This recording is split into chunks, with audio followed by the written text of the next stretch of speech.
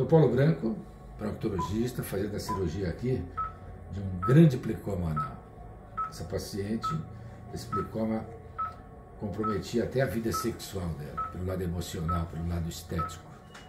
Então estamos tirando esse plicoma para que ela retorne a ter humanos esteticamente saudável para a sua vida sexual mesmo. Primeiro a orgânica e depois a sexual, tá bom? Um abraço. Entra no meu canal de vídeos. Proctologista Dr. Paulo Branco, olha, 2.500 vídeos para você ver. Um abraço.